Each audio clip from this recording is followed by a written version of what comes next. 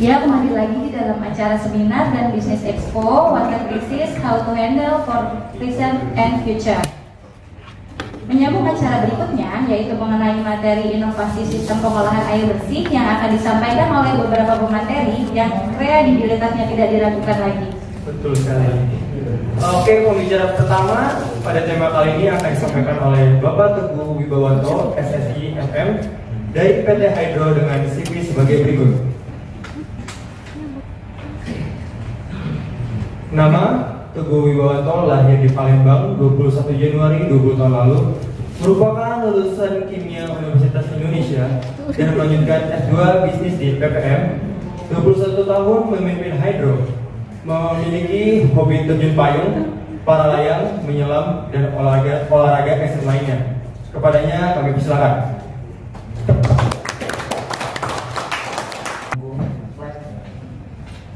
Ya, selamat siang. Assalamualaikum warahmatullahi wabarakatuh. Waalaikumsalam warahmatullahi wabarakatuh.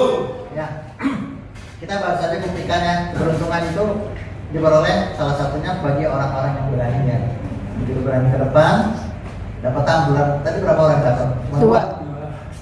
Cuma dua padahal bawa berapa? Iya, perlu banyak ya. Jadi. Tadi ngomong nggak ke depan? Nggak kan? Ya. Saya cerita waktu saya mahasiswa. saya waktu saya mahasiswa itu pulang dari kuliah itu nggak nggak santai, tapi saya kerja di bidang R&D. Jadi paginya kuliah sampai sore, sorenya kerja sampai tengah malam atau lanjut sampai pagi lagi. Yang kerjanya kan shift 2 dan shift 3. Nah setelah, setelah lulus itu eh, ada sebuah peruntungan. Kenapa? Pada saat lulus teman-teman cari kerja, betul nggak? Nah saat lulus saya sudah punya pengalaman kerja 5 tahun. Nah saya baru memulai pendidikan hidro dan yang pertama kerja siapa? Teman-teman sendiri yang baru lulus. Jadi saat baru lulus saya memperkerjakan teman-teman yang baru lulus seperti itu. Itu itu untungnya kalau kita saat kuliah itu tidak bermain-main ya tidak bersantai-santai tapi belajar. Nah, sebenarnya event seperti ini bagus sekali untuk mahasiswa karena tahu nih biasanya antara dunia kampus dan dunia bisnis itu ada game yang sangat besar. Dan di dunia kampus itu sibuk meneliti sibuk belajar tapi suka bingung nanti jualnya gimana gitu kan tapi kalau di dunia, di dunia bisnis itu kebalikan. Bisa jual tapi kadang-kadang nggak tahu ini teknologinya apa gitu. Bahkan beberapa pebisnis hanya bermodalkan jadi mediator atau mediator Ya, apa teknis. sebenarnya cari barang sana sini jadi bisa berjual pak. Soalnya laptopnya nggak Bunda, udah bisa. Muternya menggunakan alat bisa email aja atau WA ke saya langsung. Itu nomor WA saya langsung tuh. nanti kita akan jadwalkan tapi nggak bisa buru-buru misalkan karena bulan depan udah ada yang tempat lain terus waiting list lah. Itu ya. Ada pertanyaan? Baik, silakan. Kan yang diminum tadi berarti ada semacam desinfektan atau apa dicicipi aja ini rasanya habis apa dari hidro eh ha- habis dari filter tadi. Itu sebetulnya bukan untuk minum itu. Saya kasih dulu kenapa Iya. minum karena itu beruntungan air bersih. Kondisinya gimana pak habis minum itu setelah dimasak dulu tadi pak. itu gimana guys? Di mereka masak dulu? Iya dimasak dulu. Jadi mereka ambil sampel air yang keluar dari tadi. Terus mereka coba langsung bawa ke dapur masak gitu. Makanya sambil ngopi tadi bikin kopi. Eh, sebetulnya sih kalau mau kita expand sampai air minum bisa ya. Tapi emang yang kami berikan itu sampai air bersih aja. Ya soalnya itu ada produknya kan? Ada. Produknya cuma untuk yang yang sosial ini kami lebih banyak air bersih kecuali untuk bencana yang urgent air minum kita kasih kayak Tanjung Lesung tadi kan itu Ya, ada air minumnya air minum karena pakai Iya. UV ada UV ya kalau yang di mana Palu itu kita kasih RO gitu karena waktu itu kebutuhannya sampai seperti itu itu pun free juga. Ya, ada lagi? Berarti yang free itu air minum apa air bersih, Pak? Semuanya sebenarnya yang bersih atau yang minum, tapi eh, kita lihat kebutuhannya. Misalkan mereka sehari-harinya butuh air bersih, ya kita kasih air bersih. Tapi kalau daerah bencana yang mereka itu urgent air minum, banyak kan kalau bencana udah nggak sempet apa namanya aku aja kadang-kadang bukan aku aku merek ya. Air AMDK aja kadang-kadang kan udah kehabisan. Nah di saat itu kami kasihnya air bersih, air minum. Ya, bukan air bersih. CSR dari hidronya sendiri ya? sebenarnya sih bukan CS CSR nya ya kita berbagi aja gitu kita emang kasih free gitu Luar biasa. Luar biasa. Hidro gitu loh. kita bukan sekedar ngasih air bersih kok kopi aja kita kasih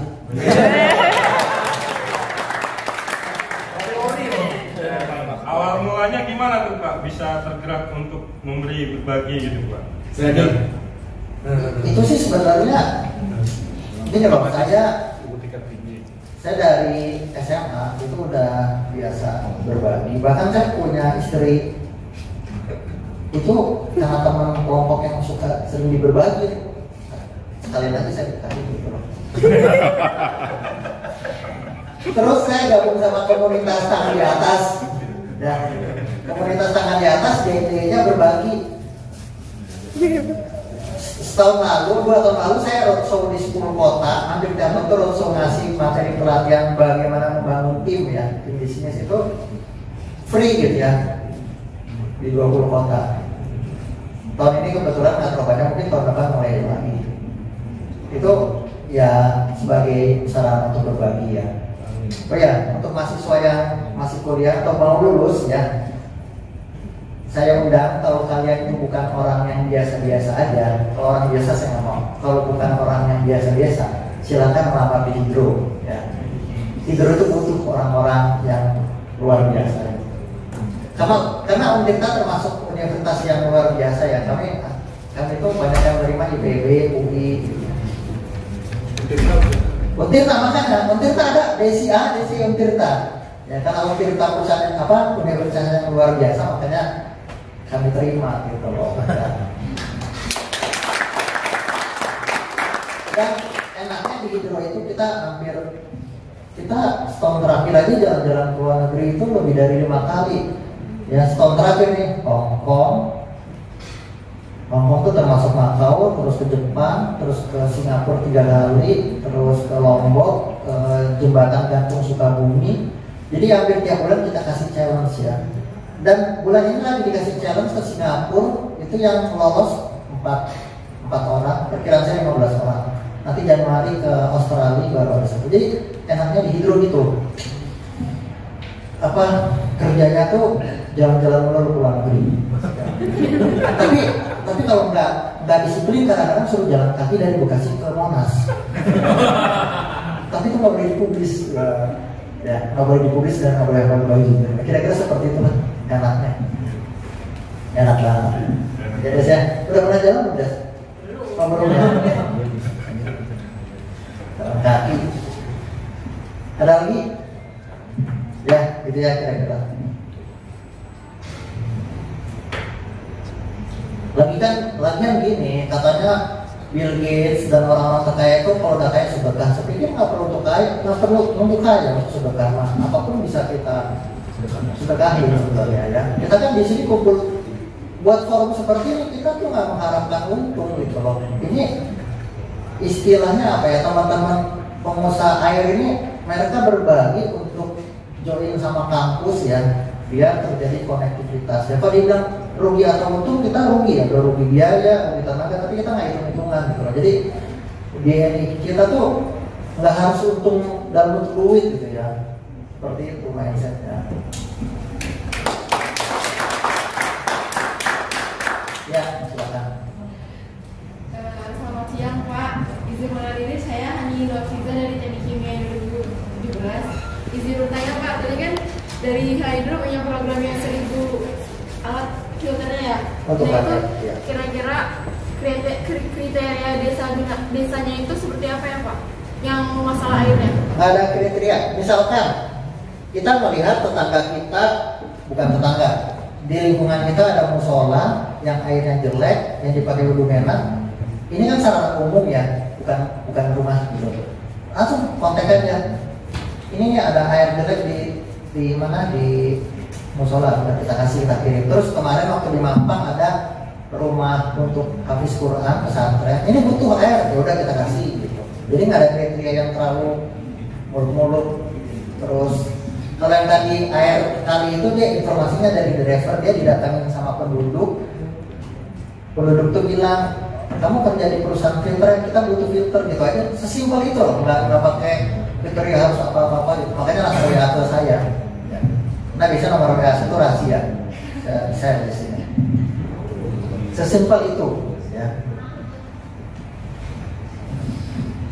ya Eh, saya Mari Pak dari kita juga. Eh, saya mau masih menyambung sama teman saya. Eh, kan kalau dari kita kan di Kota itu punya ada desa bidang apa ya? Nah kira-kira kita bisa ngasih bikin kerjasama sama dari Hydro gitu. Biar kita yang nanti kira-kira eh, cari gitu tuh daerah mana yang emang seenggaknya bisa di apa diaplikasikan kayak tadi gitu. tuh. Jadi Iya, kita yang bisa. cari permasalahannya nanti kita kerjasama gitu. Ya nggak usah kerja sama terlalu rumit lah. Bilang aja, Pak, ini saya menemukan satu penduduk yang butuh air bersih. Itu. Ya saya waktu itu dapat informasi dari seminar di kita. Udah kasih itu aja. Oke, saya bilang nanti ma- na- masuk proyek ini saya hubungin sama staff saya misalkan Lara udah gitu aja. Sesimpel itu. Luar biasa.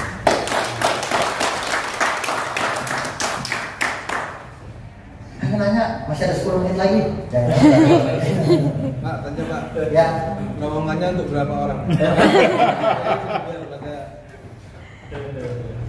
Ada batasan umur? biar kasih tahu sama teman-temannya perkiraan. Yang urgent sih ya hanya sampai lima ya tapi sebenarnya kami itu lebih lebih priority bukan jumlah tapi emang dia masuk harus masuk kriteria Prioritas. ya prioritas jadi terutama saya prioritaskan yang berbadan sehat ya iya beruban, Pak. karena nih yang terjadi dulu bosan ya dibilangin jangan makan A, B, C gitu suruh olahraga gitu Tinggi berat badan Enggak. tapi yang di hidro lihatnya perempuannya cantik-cantik kan Saya pindah dari itu.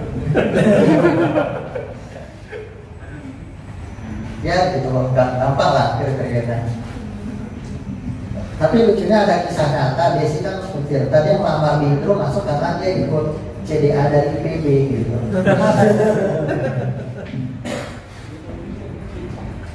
Ada lagi? Ya ada udah lima menit lagi ya. Kalau di perusahaan kan ada semacam kalkulasi lah Pak antara margin, selain keuntungan sama biaya pengeluaran perusahaan gitu kan. Iya. Ya saya lihat Hidro sendiri kan sosialnya agak tinggi juga Pak ya berkaitan dengan untuk pengurusan masalah uh, filter uh, gratis dan lain sebagainya. Itu perhitungannya seperti apa Pak? Apakah nggak minus perusahaan atau gimana Pak menutupi untuk uh, sosial yang Bapak lakukan? Oh, gitu ya. Nah, iya. jadi nggak enak nih ngomong kita tuh customernya dua puluh ribu lebih loh dan harga filter kita tuh mahal. Dan terlaris mau gimana tuh pak? Dulu 14 juta sekarang berapa? Oh sekarang best sellernya yang sering laku aja 19 juta. Itu tuh yang, yang sales tuh ngomong tinggal 19 oke dan 95% cash pembayaran.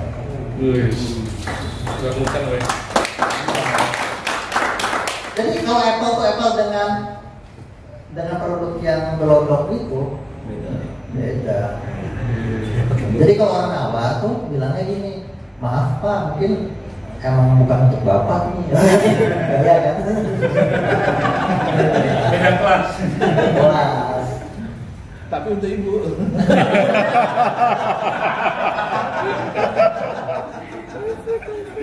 ya pokoknya nanti saya udah beberapa lihat ya produk-produk yang, yang hebat-hebat kita poles kasih hidro. Nanti yang laku yang ada hidronya itu. Jadi ya cita-cita saya sih lebih dari seribu ya sebetulnya. Karena kita bantu orang aja. Kita kita melatih bukan kita berbagi itu bukan dalam bentuk filter aja loh. Para pebisnis kita sering melatih juga di kantor itu. Saya suka kasih materi-materi pelatihan karena dari jam 9 pagi sampai jam 3 subuh bisa pernah tuh ya. Atau pebisnis-pebisnis yang baru mulai itu kan risiko gagalnya itu besar ya jadi 90% pebisnis akan mati di lima tahun pertama. Itu statistik. Nah saya bantu mereka untuk set up bahkan Hidro sendiri saya mau naruh generasi ya tahun bulan depan direktur Hidro udah pindah. Bukan saya lagi Bu Eva saya mau fokus di Hidro Fabio sama Hidroman dan Bang nanti kalau udah itu jadi saya pindah lagi. Seperti itu. Jadi biar ada kesempatan orang untuk naik karir dan sebagainya. Ya. dan lebih dari 50% karyawan Hidro itu usia kerjanya lebih dari lima tahun ya. jadi mereka stay eksis lah. Nyaman selalu nyaman ya. Tadi itu keluar negeri aja setahun bisa lebih dari lima kali ya tapi kalau jangan coba-coba nggak melakukan KPI ya. Lupa posting. Lupa posting di sosmed itu kalau nggak capek itu bisa jalan kaki dari Kalimalang sampai Ancol. Ya benar. Jalan kaki itu mulai besarnya jam 7 sampai itu jam 5 sore biasanya. Gitu ya. Lah pokoknya. Ada lagi? Masih ada lima menit ya yang mahasiswa persiapkan diri untuk melamar di Hidro Pak, nanya. ya Kalau dari tadi kan Bapak ngomong enaknya. Iya. Nggak enaknya itu apa, Pak? Jadi tadi jalan-jalan ke Monas. itu tergantung dari cara kita memandang sesuatu jalan kaki dari Bekasi ke Monas atau dari dari Bekasi ke Ancol enak apa enggak Nah, Enak sih. sama siapa dulu? Mungkin gak enak ya. Tapi kalau kalau kita tidak ada yang ditakuti kita tuh cenderung santai. Begitu. Itu sebenarnya. Dan kami di Hidro oh ada gak enaknya sebenarnya? Saya kasih tau gak enaknya gini. Marketing itu dikasih rules yang sangat ketat nggak boleh nyogok jadi gini kalau kita masukin penawar ke perusahaan ada orang dalam bilang gini boleh gak saya minta? Saya bilang tegas. Daripada saya bilang daripada nyokok ini nggak usah deal. Jadi kita punya rules ya. Kalau orang dalam nggak boleh dikasih. Tapi kalau calo calo itu Mediator. mediator itu hak boleh. Karena itu sah. Sah dan halal. Tapi kalau orang dalam itu mengkhianati perusahaan sendiri